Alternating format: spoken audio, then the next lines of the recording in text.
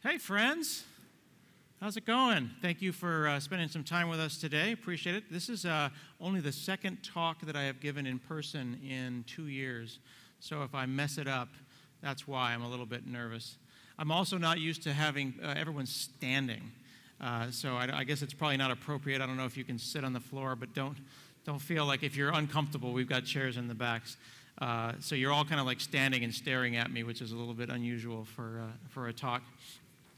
Um, so I wanted to put together something that was a little keynotey. They say that uh, keynotes are supposed to be about big thinking, about getting people to change their perspective on stuff. And one of the things that I've been thinking about during the pandemic is remote work, uh, how to make people successful when I don't get to interact with them in person. I've got people that I've hired to work with me at Microsoft who have never, I've never seen them. I don't know how tall they are. They're about, about this big uh, in little squares.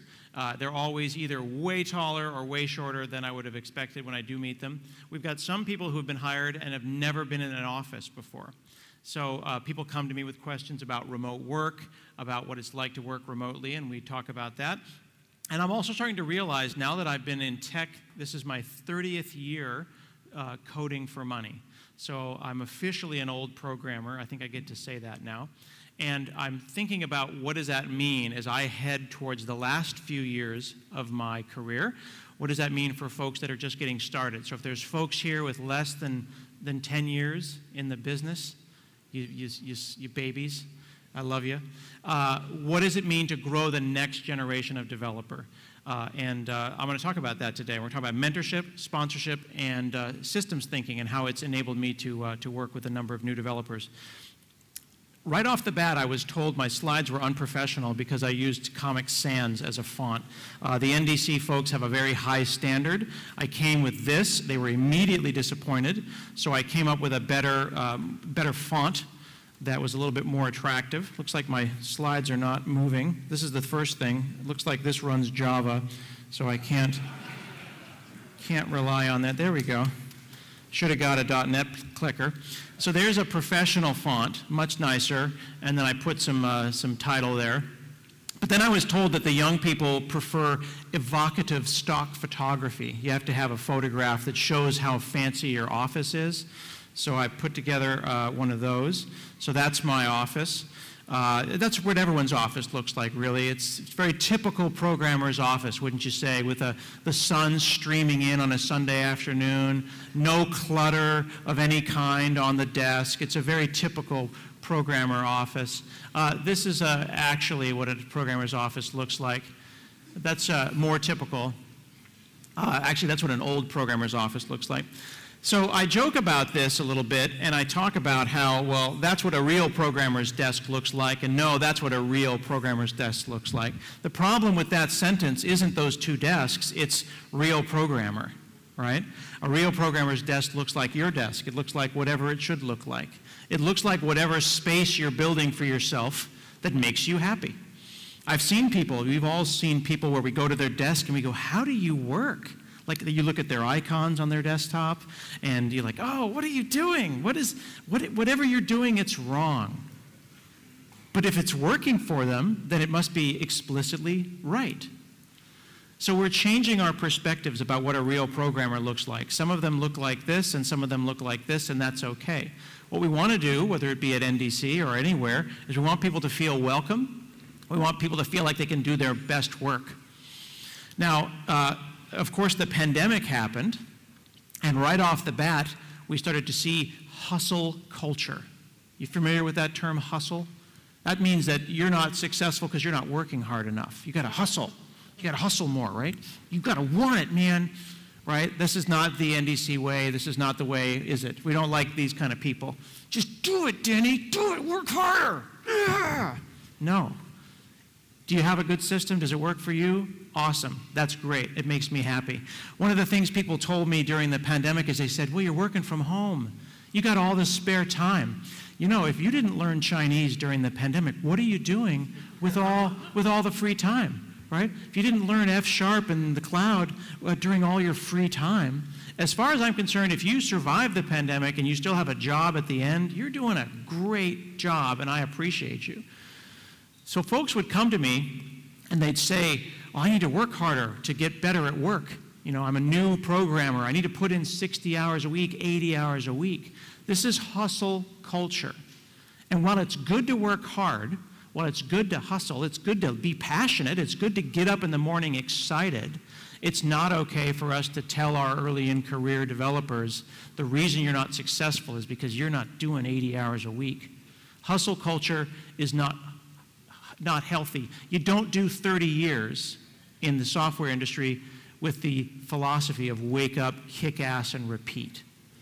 You've got to find balance. This is a marathon, not a sprint. I think all of us have been burned out at some time. Anyone ever felt what burnout really feels like? Yeah. And burnout, you know how burnout starts is you do your you do your 9 to 5 or your 9 to 6 or your 7 to 7 and you go home and you see your partner and you see your kids and you go, "You know, I'm a little behind at work. I'm just going to work late to catch up. And the next thing you know, it's 2 a.m. And then it's 7 a.m., and then you did it again. And you keep doing that repeat because you think, I'll just catch up. It's a busy time, you know. We're in that kind of April, May, June, July kind of. It's a busy time at work. June, July, August, September, kind of October, November, December, January, February, March, kind of that. It's a busy time at the work. And we'll hustle in order to make that time. And then we realize that that's become our lifestyle. That's really unhealthy. And then we don't like ourselves, we don't like our jobs, we don't like our careers, and then we do it to the new generation. we inflict it upon the next gen because we put in our work. I did hustle, I did crunch time, so then you have to do it too so that you can, you can suffer. I don't mean to do it like that, but we do do that, don't we? I, um, my, my son is 16 and he's learning how to drive a car. So when I learned to drive a car, I was very excited. I was like, I'm going to drive this wonderful car that my dad, my dad has. And my dad says, uh, before you get to drive the car, I need you to change your own oil, change a tire, rebuild an engine, right? Because his dad taught him how to do that, and that's how real drivers, right? You know, you want to learn to drive a car? You want to go to the school dance? That's great. Let's talk about the theory of the internal combustion engine. You want to learn C sharp? Before we learn C sharp, let's talk about assembler because you don't deserve a memory manager. Garbage collector, you're garbage, right? That's, that's not how we want to do things. Like, think about it. Computers, there's a famous quote that says, Computers are where we took a rock, we put lightning in a rock, and we made it think. So you don't get to use a computer until you too have taken two sticks and rubbed them together and made fire, and then we'll get you the computer. So as an, as an elder programmer, I have discovered that one of my biases, one of my biases, the things that I'm internally biased against, is, is young people. They're the worst. Don't trust anybody under 30. They don't know what they're doing. Some people may be biased against people of different cultures or people of different uh, races. I realize that my bias, my, my internal reaction is young people. They don't know what they're talking about. But then I realize that that's not right. That's not healthy. The only difference between me and a young programmer is that I'm old. I'm still here. So then I realize that I need to make space for those young programmers so that they become old programmers. That's my job. So I catch that bias internally, and I catch those moments where I want them to drive stick shift before they drive automatic because I think that's right. So I'm starting to reevaluate those biases, and it's really made a big difference in my life. So when, when quarantine happened, everyone called me and said, Hey, Scott, you've been a remote worker at Microsoft for 15 years. Tell me what it's like to be a remote worker. And I realized that, well, working in quarantine sucks. You're in jail. But working remotely is a joy. You can go to Starbucks or a cafe. You can sit in the corner and work. So I don't know what it's like to work during uh, a quarantine or a pandemic. So I didn't have a lot of good tips. But I did tell them that you don't want to overwork. That is the thing. We've all found, as we have worked remotely, and some of us have gone back to the office, we've found that that commute, that hour commute, ended up just being work. So now we're working an extra hour in the morning and an extra hour at night, and nobody noticed it. And that's not healthy. So I watch, I want people to watch what's going on in their own bodies and their own brains. So I'm going to talk today about intentionality and deliberate thinking, doing things because you decided to do a thing, as opposed to just letting things happen by default. One of the things that I'm seeing a lot of is, um, is doom scrolling. Doom, you guys know what doom scrolling is? I'm really not enjoying this clicker. There we go. Doom scrolling is scrolling on social media for really awful, sad things about how the world is ending and everything sucks. And then when you find something, you confirms your belief that the world sucks, and then you look for more stuff. Turns out that scrolling for doom is not healthy. So I started realizing that I would be on the toilet looking for reasons the world was ending. And there's just something about poo and the world ending that just makes you sit sadly in the bathroom. And uh, I don't know if it's the sitting and the pooping part, but it's just really not good, healthy behavior. You didn't think you were going to go to an NDC keynote and learn about my poop, but now you're here, and that's what we have. The reason that I'm saying this is because we don't talk about this stuff. You all are doing this, but you don't tell your partners or your friends. You're sad. You think it sucks. And you think it's going to get better if you go into Twitter and you pull to refresh and you find some new bit of information. So I'm being much more intentional. I'm being much more deliberate about what I'm putting into myself. I'm intentional about my work. I'm intentional about how I'm dealing with young people. I'm intentional, intentional on how I'm consuming media. And I'm trying to be more present. I'm trying to be more present and in my space. I mentioned before that I've been coding now, and this is now uh, 2022, so it's been 30 years. I could use that 30 years as a, as a cudgel. Hey, you have an idea about some coding? Bonk. I've been doing this 30 years. That's not healthy. But here's the other thing have I really been doing it 30 years? I was kind of asleep for seven of that. Now, I'm not saying like I was, you know, in the club, like I don't even remember the 90s, man. Not that kind of forgetting. Just kind of like doing your job and not really thinking about it, not being present and in the moment. So there's years of my experience that didn't really count. About seven of them I count. It's a couple of years in the 90s, a couple of years in the early 2000s where I wasn't really thinking. So when the pandemic happened, and I not only was working remotely, but I was stuck working remotely, I started getting deliberate and intentional. And I started building a nest. Nesting is super important. A lot of you didn't sign up to work remotely, did you? You just had to work remotely. So then you're on your kitchen counter, or you're in your spare bedroom, or you're in your, on your back porch somewhere. You found a space. Did you intentionally sit down and build a place for yourself?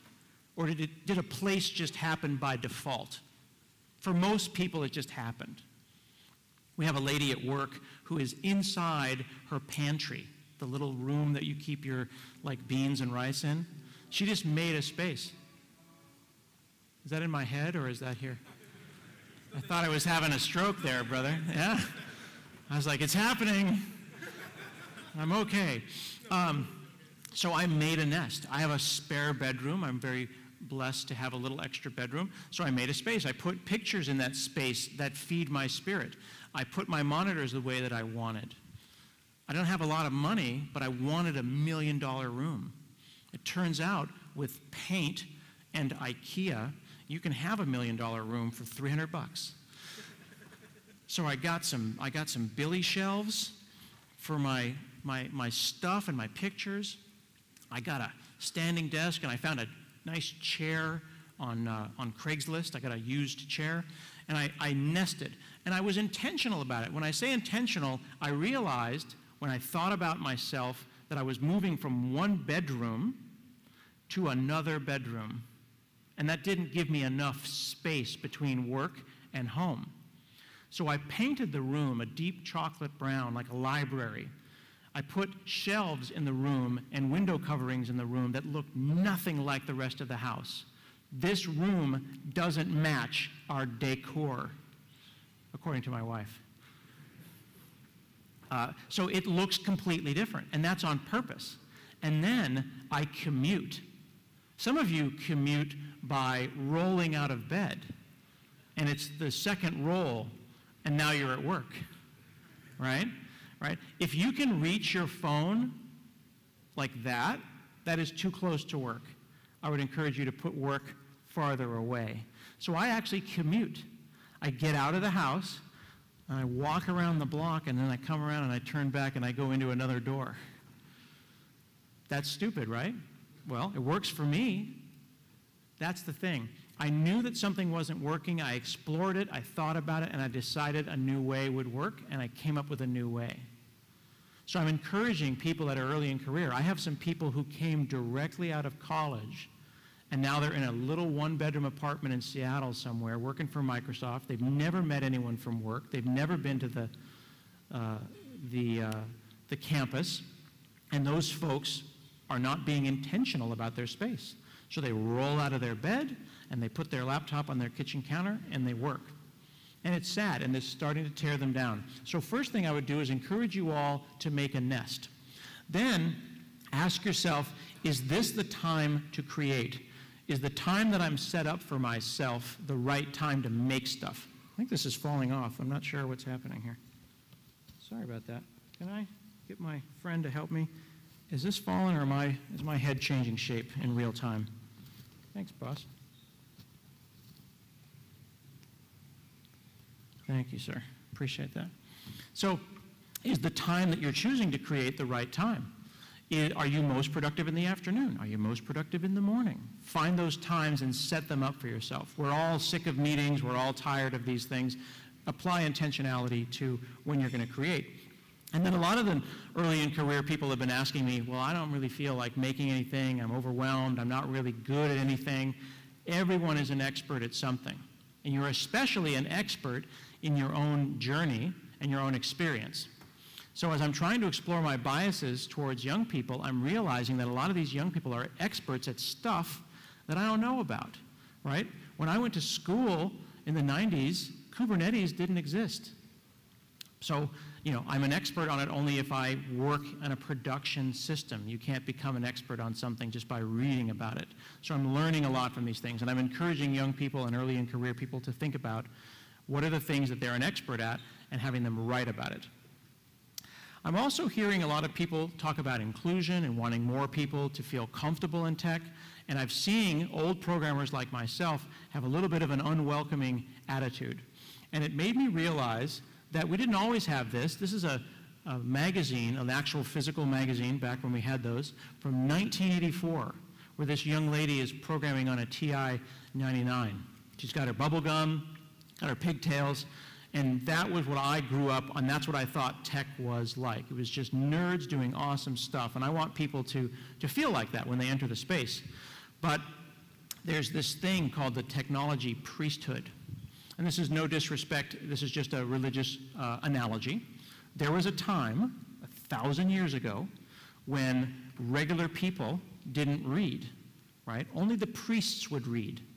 The regular people would ask the priests for information, and the priest would be like, "Well, let me let me look that up." But don't look at it; just let me see. And then they would, and they would go, "Okay, well, it says here," and then they would tell them. So the relationship between information and the people who wanted information was not balanced. This quote here is knowledge is power, and it tends to be hoarded. Experts in a field rarely want people to understand what they do. That sounds like something you would say in, on, on Twitter in 2022. That's actually a quote from a computer magazine from 1974. So people were noticing this, this, this technology priesthood, this, this um, gatekeeping, standing at the gate and saying, no, you can't come in. Have you ever gone to your family holiday events and you see your cousins and your grandmother and your aunties and uncles and you know that the responsibility of the computer person at the family event is to set up their printer, to run Windows Update, right? I mean, you know, right? Okay? Have you ever met like a cousin you haven't seen in a while, and the conversation is like, "Hey, how's it doing? What do you, what do you do? Oh, you're a computer person. Oh, I'm not a computer person. I don't know anything about computers." And then you kind of fade away. We've created this environment by which there are computer people, and then everyone else right? Where being able to go file save as, that's a thing you put on your LinkedIn. Like, you know, do you know Office? I do know Office. Do you know how to go save as? Mm, less so, right? I'm an office worker, but I don't really know where my files are, right? So, do you know where your files are? Young people, they don't even know that the file system's a thing. My kid's 16, no idea where the files are. They're in Google Drive or they're in OneDrive, but otherwise, if they were on C colon temp, you're never going to see that file again. It's over. So, what have we done as computer people to, to take a relationship that should be like this and we made it like this? We made them feel bad. My non technical parent calls me and says, I don't know what I did to the computer. I think I broke it. The relationship with the system is broken. So I'm trying to get people to think about that. It could be a system at work and you're talking to a new programmer who's only been in the business for a couple of years. I think I broke it. I think I broke production. I think I dropped a table in production. And then we make them feel bad about that rather than thinking about how do we have systems that would allow someone who just got here to break production? It's not their fault, it's the system's fault. You've got to think about those things. I talk about this term gatekeeping. Gatekeeping are, these are the decision makers that sit in a place and control information flow. So as someone at Microsoft who's kind of a middle to upper manager like me, I can gatekeep if I choose to. If I want to teach someone C sharp and I say you have to learn C first, and then you have to learn C++, and then you get C sharp, I don't make the rules. Well, actually, I do exactly make the rules, right? We always hear that phrase, I don't make the rules. Turns out you do. You can change the rules. I was teaching classes on C Sharp and computer science from the metal up. Let's learn about assembler. Let's learn about C. Let's learn about memory management. Okay, now we don't need memory management. I was teaching it about history. But the kids, the younger people, are learning from the glass of their monitor back, not the metal up, the glass back. They load up, they hit F12 tools in Chrome or Edge, and they go, look, that's JavaScript. That's the source code for the internet. It's not for me to say, well, actually, I just let it go. They just don't need to know that stuff. So if we bring it back to my son who's trying to learn how to drive, does he need to know stick shift? Now we get into a real conversation about what gatekeeping means. Here's where I struggle as a person of a certain age. If you drive a car and you know how to drive manual, you have a different relationship with the car. I would argue you are a better driver. You know more about how it works, and if it has a problem, you're going to be able to get through it. That said, what if he just wants to ride in an Uber? Platform as a service. Let's say that the car has a flat tire. He gets in another Uber. I assume that the other Uber is garbage collected. I don't know what happens. I don't know that guy, right? That guy, good luck, Uber guy. But if he doesn't understand that, that the tire can break and the Uber driver has to fix that tire, then does he even know the Uber driver exists? Does he have empathy for the existence of that driver? Wouldn't it be nice if he had the power to get out of the car and help the person with the, with the tire? So then the question is, how far down should he go? Should he rebuild the engine with the gentleman? Should he fix that person's oil? I didn't say you need to be a mechanic. I do think you should take the level that you operate at and go one level below. If you drive automatic, learn stick shift. Do it once or twice. So it's in your, it's in your brain. You don't have to do it professionally. I didn't ask you to be a race car driver. But you don't get to go from Uber rider to F1 racer without understanding the stack. So we need to think about those things when someone is going to be doing their job. What do they need to know to be really effective at their jobs?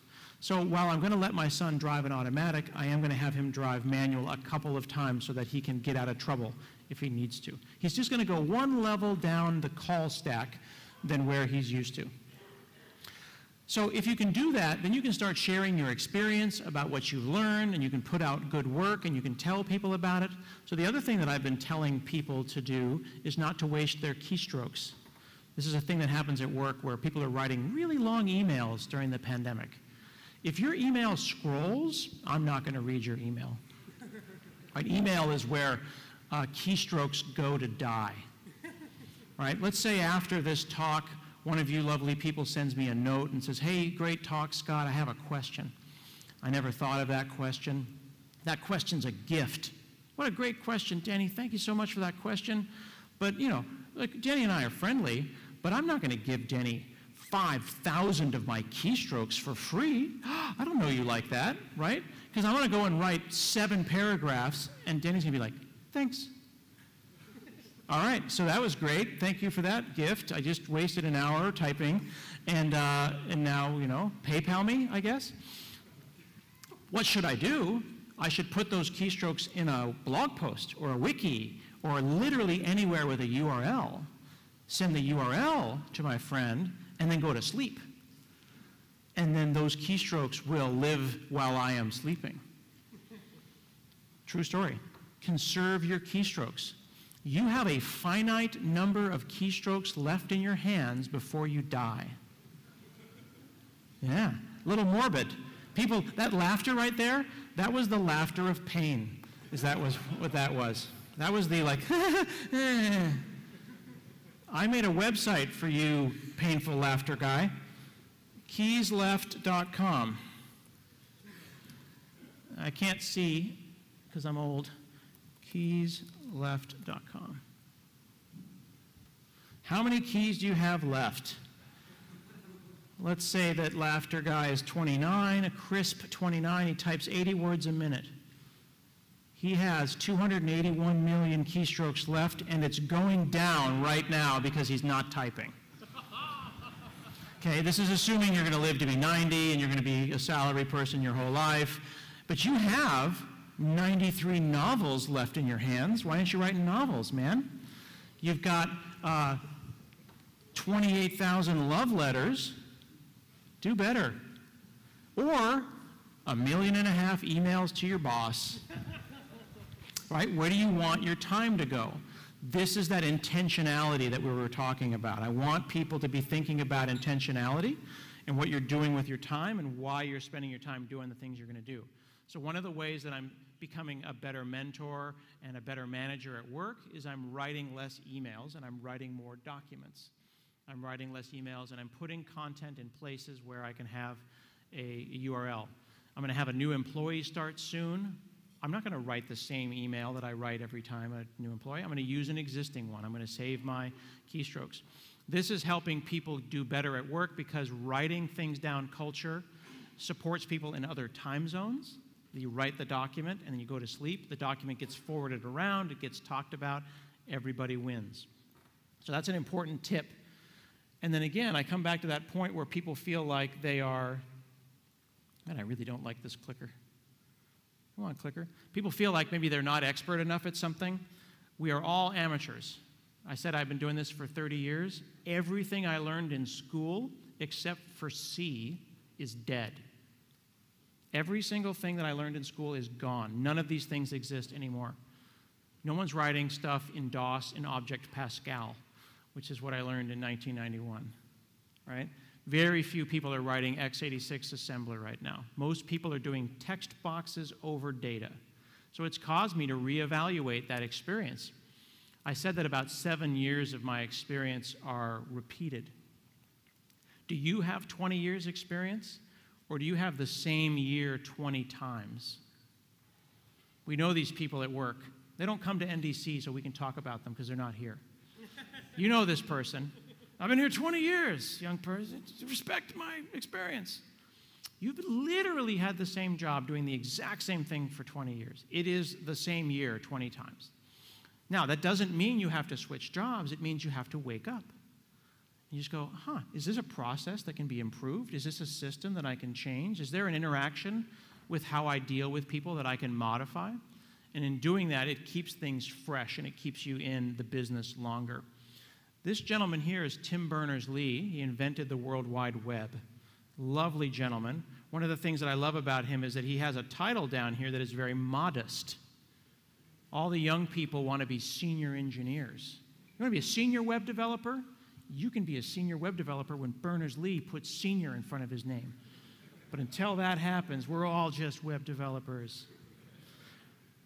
If, if I were Berners Lee, I would just put the right? That's a flex. That is a flex. Yeah, you're a senior developer. I'm the web developer. I love that because he's very modest. He understands that there's things that he doesn't know, and I appreciate that.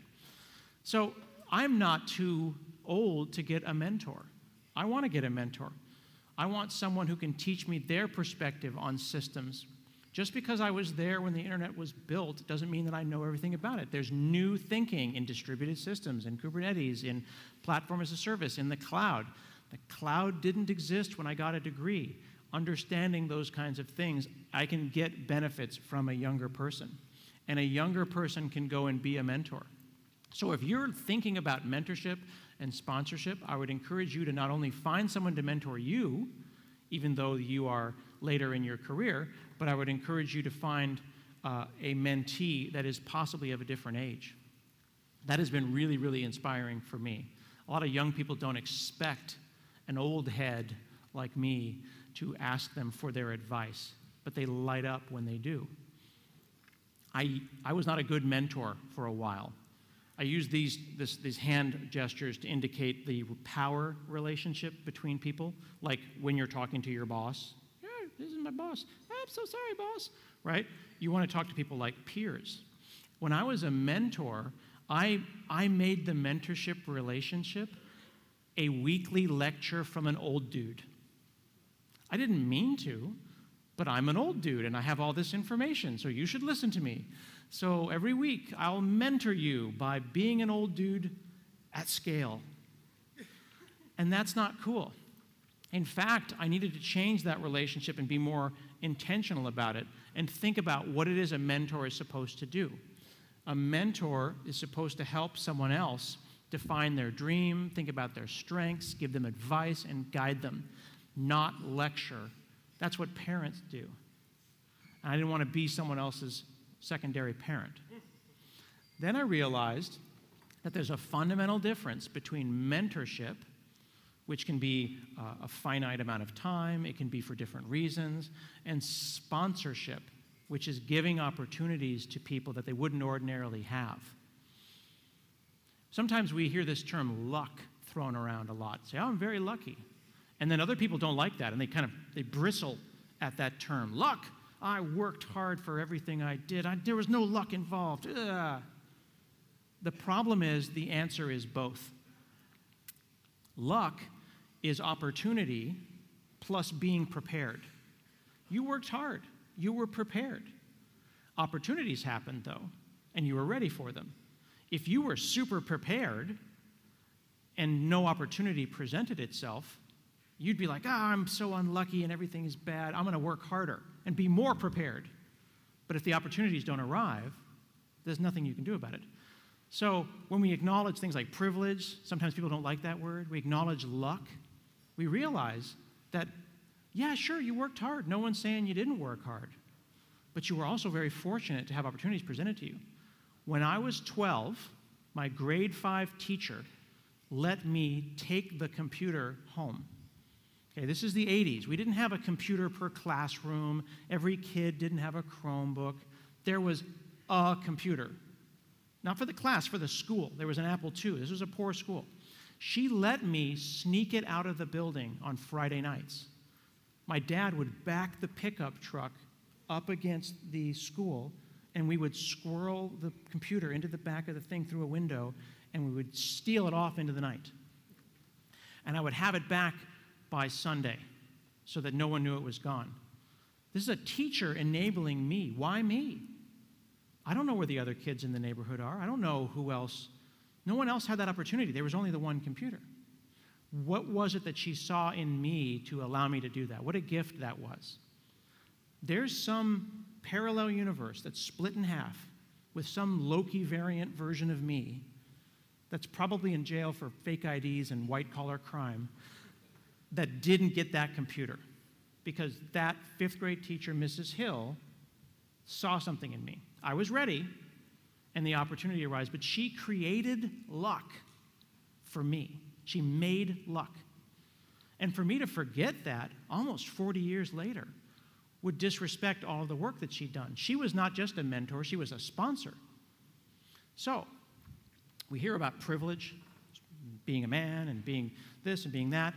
One of the things we don't talk about much is what's called level privilege.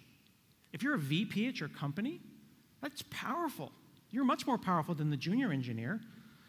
Do you know that when I email like junior engineers at work, I don't really think about my spelling? But when I email my VP, woo, I check the spelling. She is going to get a clean, crisp email with indentation and bullet points and maybe a little emoji or two just to be professional. Does you think she knows that I'm doing that? You know you're doing that. You know you're careful when you email your boss, and that's totally different than you email the intern. That's level privilege. The thing that's fun about level privilege, you have unlimited level privilege. I will not run out. So if a new engineer comes to the company, what does it cost me to say, I'm just going to use you as an example, Denny, because you're standing right here. I'm like, hey, Denny, uh, you know, that was actually Denny's work. Let's, uh, let's have him present to the, the all hands. That'd be great. Oh, yeah, you know, Anwan had some thinking about that. Why don't you go ahead and tell the, the group what that was about? One moment. I have unlimited number of those. That means I don't do that once a week and then go, I'm such a good, I'm an ally for the people. Yes, pet, pet, pet. No, do it all day. You can do warm introductions. People don't realize that the good old boys network in tech, it's just warm introductions.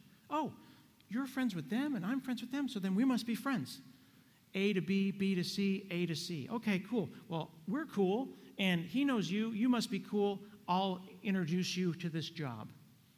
The warm introduction is how we create luck for people that didn't exist. Now, they have to work hard.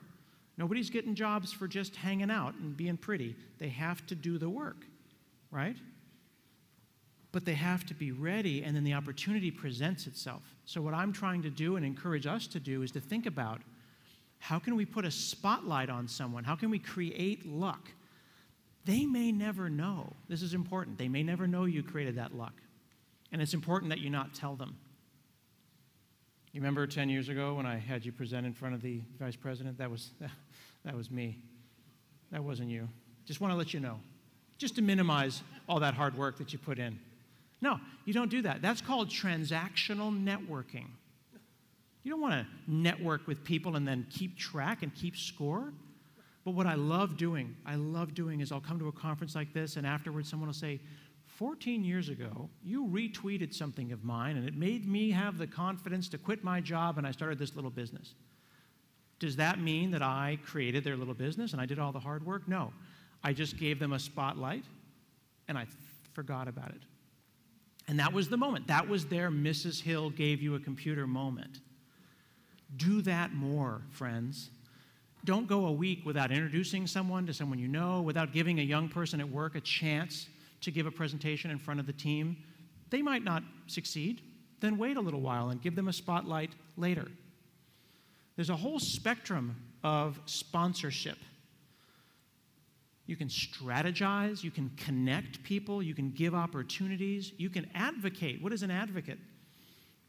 That's someone who's talking nice about you when you're not in the room. Costs you nothing. What a joy. Once you get addicted to this, you're going to have so much fun telling people about all the great early in career folks that you're going to lift up and give opportunities to. It's so cool. Now, sometimes when people start mentoring, they're worried that um, they got to do it forever.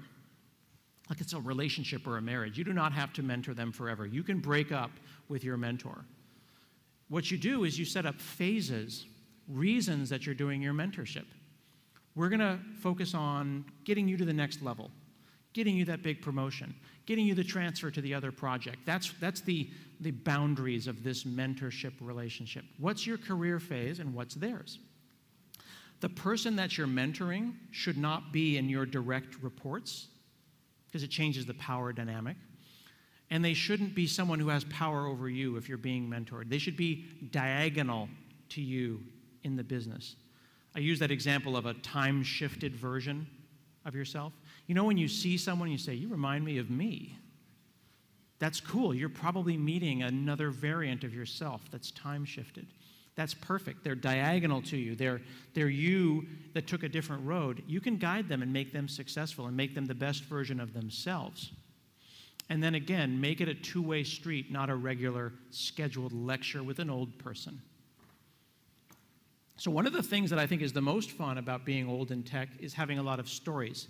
So, as we get towards the end here and we're all standing and we're kind of getting a vibe and feeling about what we're going to see next here at NDC and all the great talks that we're going to have, I'm going to share a couple of fun stories about things in tech. And this is what's great. I want the young people to collect their own stories so that they can tell them as well. So I'm going to share a couple of mine. And these are the things that I talk about with my mentees. First thing is that they ask me, what should I specialize in? What, what technology should I pick? I don't freaking know. I mean, what do I know? Like, am I going to go, Kubernetes? That's the thing, right? Probably not Web3, whatever it is. But the thing that you're, the thing that you want to do, I don't know. You want to be a T-shaped developer. You ever heard that term, T-shaped? You know, the shape of the letter T.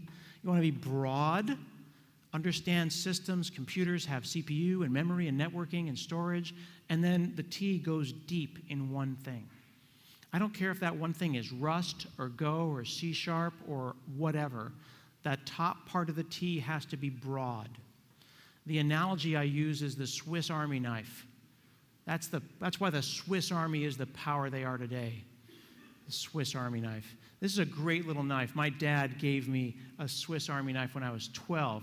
This knife is useless. There's nothing here.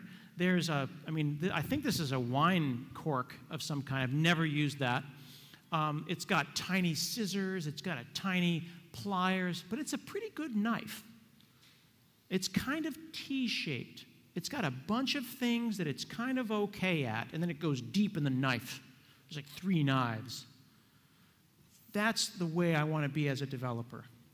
I don't want to be a specialized tool because what if that thing goes away? I can take any one of those tools and improve it and make it better and go deeper on it. So if C Sharp dies or if Kubernetes isn't the next thing, the fundamentals are still there. So it's okay to be a funny little knife that's not amazing at everything. You just want to be at least a good knife. I see a lot of exciting people coming into tech and they're focused on a technology. I'm going to learn JavaScript. But then they don't know how to drive stick shift. They don't know about how JavaScript fits into the ecosystem. They don't have systems thinking. They just learned how to write a for loop in JavaScript, and that can be really challenging. So I talk about these things when I meet with my mentees and my sponsored folks. There's problem solving in tech, there's layering, there's composing systems, and there's patterns. Let's start with problem solving. Problem solving is asking yes no questions at scale. This is the difference between an early in career and a later in career individual is you know how you get stuck on a problem, you go find some senior programmer and you've been thinking about this for hours and they go, is it DNS? And you go, ah, crap, yeah, it's DNS. How did you do that? I've been thinking about this for days, and you went and you said it's that. And then you go, eh. The, the real answer is, eh, I'm old. I've seen a lot. It's always DNS, right? Problem solving at scale, okay? Asking yes, no questions. So I went and gave this talk at, uh, at a young girls coding seminar.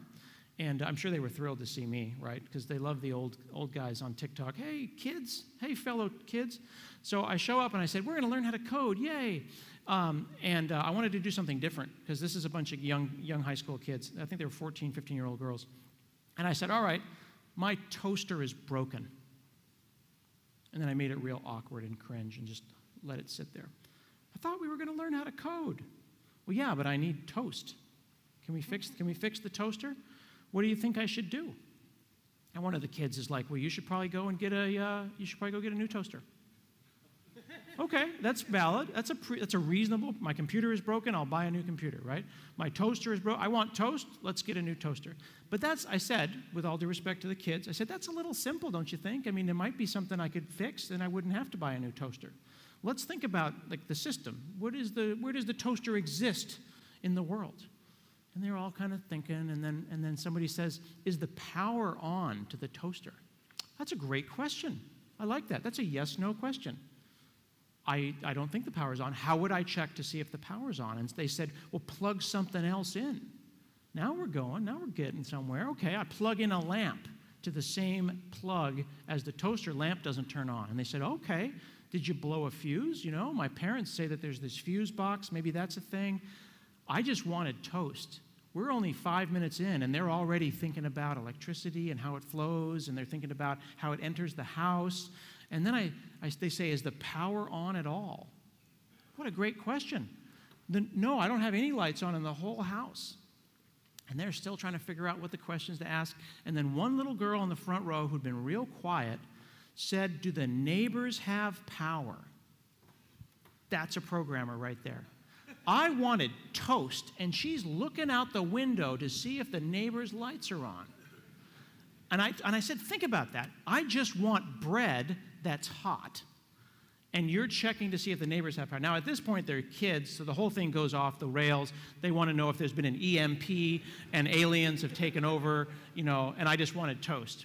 But the point is, when you have a problem that is simple like that, you can either have a simple answer, buy a new toaster, which would not solve my toast situation at all. I would still have no toast if they bought a new one. But if you think about the system in which it exists, you're going to be able to do some damage.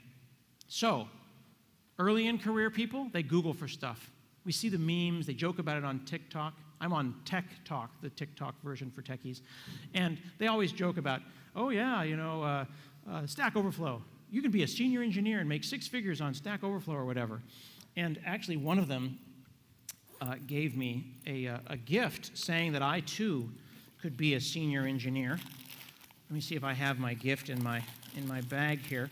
They actually gave me a, a Stack Overflow keyboard. It's got a copy button, a paste button, and a Stack Overflow button. And that's how you become a senior engineer at the company, right there. That is simplistic thinking. That will only get you a job in tech or an interview in tech, and then you're going to get overwhelmed in tech and you're going to quit tech. We don't want to create people like that. So I was thinking about all the different things that one would need to make, to, to debug a website. And just without looking anything up, without Stack Overflowing anything, I went and I made a list of all the different things that I would check. And I realized I could make a seven or eight page list. And then I thought about our famous American president, uh, Abraham Lincoln, who said it's always DNS. But on the left hand side here, I have a whole list of things that it could be. Did not Google to get that list. I didn't even Google with Bing. I just, they just, they just came out of my head. Why do I know that stuff? Because it's happened before, because I've suffered. I've suffered. And there's this one here, I don't know if you can see it in the corner here, uh, that you have to be aware that sometimes it's never a certain thing. Uh, Sherlock Holmes says it's never twins. Now, that's be like if you've ever seen Sherlock Holmes, whether it be a movie or the book, usually like uh, a woman will kill her husband, and then they'll say, well, but she has an alibi. She was on the other side of town. So there's two of them. And they go, wait, hang on, how is that possible? She killed her husband, but she was on the other side of town. And then Watson says, Holmes, could it have been twins? And he goes, no, why not? It's never twins. There's just stuff like that that happens in tech that it's never going to be. And you're going to know those things. And you've, you've had those interactions before where you go, could it be that? No, it's never, it's never that. Computers have a lot of layering issues. Layering is hiding complexity from yourself and others. Layering is also really just lying. You're lying to yourself with software, you're hiding stuff. Now, this is what email looks like, right? We've all sent an email before. Unless you've worked on an SMTP server, a simple mail transport protocol, you've never really seen what's behind that. I've spent my whole life never had to write a simple mail transfer protocol or a POP3, so I don't really know what's behind email. So I figured I'd look at it. That's what's behind email. It's name colon value, name colon value. And then on line 10 there we see a content type. That's interesting. Where have I seen stuff like that? This is an HTML post. Name colon value. Then I realized that the entire world is just name value pairs at scale. Redis, databases, Mongo, all of it. It's all a lie. Everything's just a big hash table in the cloud. Why do I say that? Because it's true. So, this is important for an early in career person because when they start plugging the neurons in and realizing, well, that thing that I know is the same thing as that thing that I know, and then you plug them in. And you realize that maybe you already know the thing.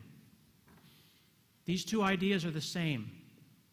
On the right is a record player with data that's encoded in a circle that gets picked up by a head. On the left is a hard drive with data encoded in a circle that gets picked up by a head. 150 years separate, same concept. And it's still a wheel. Isn't that interesting? Then you can start composing things, putting things together, and you can hide information and uh, compose large systems that are infinitely complex, but then you can still dig into them. There's this really great show on Netflix. Have you ever seen Altered Carbon? Altered Carbon is this great show. And on Altered Carbon, this gentleman on the right here uh, can, can change bodies. He can put his brain inside different bodies. And he meets the guy on the left who's actually an AI. So he's an artificial intelligence, and he's, he is the form of the poet Edgar Allan Poe. And the hotel he stays in is called the Raven.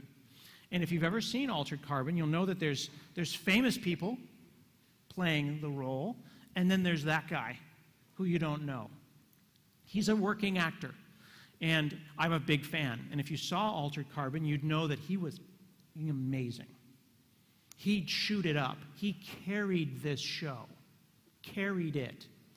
So I always like to tweet the kind of not famous people and tell them, hey, you did a great job. Because if I tweet the famous person, they're never going to see it. And they get compliments all the time. But the working actor, they never get it. So I'm going to just go and say, hey. And he had like 4,000 followers. Said, You were amazing. You were awesome. Good for you and all the best in your future success. And he tweets me back. And I noticed that his tweet has a geo coded location. He's in Portland. I live in Portland. So if you know, you got to shoot your shot, my friends, because you miss all the shots that you don't take. So if I'm going to have a bromance with this man, I got to go right now while he's in front of his phone. And I said, Hey, I see that you're in Portland. Yeah, yeah, we moved to Portland. You want to get tacos? And we freaking got tacos and we hung out and it was amazing. And we went to tacos and he shows up in a vest and, uh, and like a, an ascot. It's like, are you European? Are you not European? Like, I don't know. You know how they can tell that you're an American from your clothes? You, know, you can see. You look at our shoes and you're like, guys from America. Look at this. A vest, not a choice I would make, and, and like an ascot or like a, like a scarf. Very stylish. So we do a podcast. And I bring my recorder and I interview him about his acting process, and it's amazing. And I'm like, this is my new buddy. I'm going to be friends with this guy. So I go home with my SD card and I put it into the computer to get the interview off. And there was an infinite recursive directory of nothing. Blank, not even a space, literally nameless folders that recursed infinitely. I freaking felt it in my chest. I was going to die. What am I going to do? Do I call him and go, hey, remember that really amazing dinner talk? Can we do that again? Um, I'm a computer person, but I lost the file. Right? Because he thinks I'm an amazing computer guy because I got like a blue check on Twitter, right? He thinks I'm the man. And I'm going to tell him I lost the file? Oh my God. So I go into Explorer, and Explorer says there's 300 megabytes there, and I'm like, ooh, but there's not. There's only John Travolta going like this. So I start digging and digging and digging, and I realize that if I'm ever going to be friends with this guy, I'm going to have to go and learn the file allocation table format for DOS. So I take the, the bits off of the SD card and I make an array, and I have this 300 meg array of zeros. Uh, and I start reading and reading and reading, and I learn stuff about FAT, the file allocation table that you shouldn't know, like that row of zeros should be 002, and the date should not be 1980. And I start digging around in the bits, and I am not a low level debugger, but I, I, I can't go on stage and talk about driving stick shift if I don't actually learn how to drive a stick shift. So this is the stick shift version of rebuilding a file system from scratch. So I manually rebuild the file allocation table on the SD card, and I dig the files out, and I find them and I publish the interview. And he's still talking to me, and we're buddies, and we like text each other. So that is very exciting to me um, because I could never have shown my face. The only choice would have been to move to another city. There was just no way out of this. Nothing in the computer is hidden from you. You can dig as far as you want. So I try to make sure that folks understand that you may be working in applications, you may be doing text boxes over data, but that sits on a file system, that sits on I/O controls, and all the way down until there's a rock that we put lightning in and we taught it how to think. It's super important to understand that stuff. So then, when you're old and you've been in tech for a long time, why are you so good? It's because you've seen it before. That's the only reason. And the way that you get to be old in tech is by not being chased out of tech by jerks. There were so many opportunities where I felt bad and I didn't belong. And think about how you must feel if you're an underrepresented person in tech. Don't chase them out because if they get in for 10 years, then they maybe will stay for 10 or 15 or 20 and they'll grow more people. My superpower, having seen 30 plus years of tech for money and 40 if you count not money, is I've seen it before. That's it. That is the power. One time I was debugging for 13 hours on a Raspberry Pi and I could not figure out why I couldn't get this app to work. And I had these files on a Raspberry Pi and I put one in a folder called good and I put one in a folder called bad. And the only difference between the two things was that little space there. I don't know if you can see, right up at the top there, it says 2C and there's a space. All of the zero Ds were stripped out of my file. All of the zero Ds were missing. Why? Anyone know? Any old people know what's zero D and why it's missing? I spent 13 hours on this. Say it again? Sorry, what? Okay. My, my contemporary here, contemporary means we're the same age, he says, carriage return? Thank you for not being there when I needed you as a mentor 13 hours ago, sir. Turns out there's a setting, treat files without extensions as ASCII. I was copying the file and it treated a binary file as an ASCII file and a 0D, as my fellow old person just said, that means carriage return. So I go and I fix the problem and I tell a young person at work and they go, that's an amazing story. What's a carriage and where is it returning to? There's people, you, ex, experts in Git, that don't know what a carriage return is. So I said, well, let's talk about carriage returns. it's returning the carriage. Why is it called a carriage? Because it carries or transports the paper. And it goes ding, and you go and you return the carriage, and then you line feed. And how does he know that? Because he's seen it before. He didn't learn that in school and remember it years later. He's seen it before. This, will, this bug will never fool me again. So, you know how they say fail fast, fail often? The way I know that is because I failed a lot. So, what we can do is we can make a space for early in career developers to fail comfortably often so that they might collect this stuff in their brains and be more successful developers and maybe even someday build a Lego typewriter uh, from scratch, which I think would be really exciting, right? So I'm going to fast forward to the end. Here's my homework for you all to think about. Where, what are your stories? Collect your stories, write them down, tell them to your mentees and your early in career folks, encourage them, inspire them. Do your stories humanize tech? Do they humanize you? My stories are all about how dumb I am. You may have noticed that and enable them to share their stories and give them a spotlight. We are so glad that you're here at NDC. Thank you very much. Have a great show.